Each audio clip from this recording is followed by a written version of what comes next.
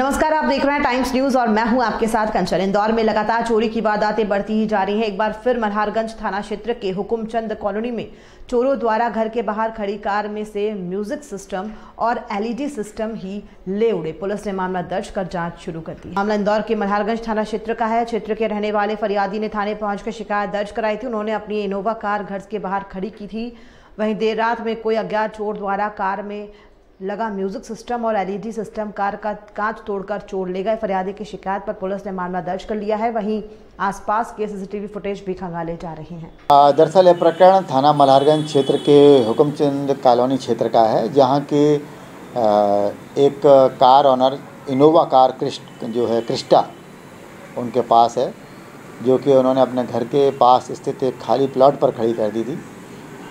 जिसमें से किसी अज्ञात चोर के द्वारा उसका एलईडी सिस्टम, म्यूज़िक सिस्टम निकाल कर चुरा लिया गया है।